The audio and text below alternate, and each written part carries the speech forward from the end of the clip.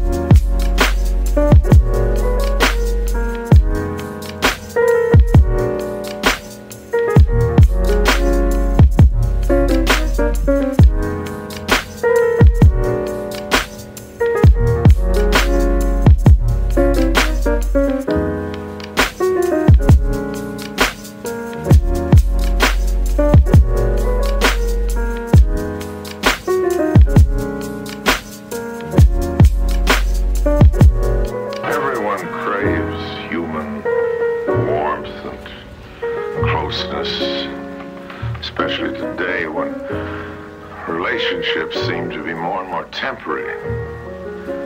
What we're witnessing, of course, is the death of permanence. A new society is being created around us, built from the broken pieces of today. And those who people that society are going to live in a very different world.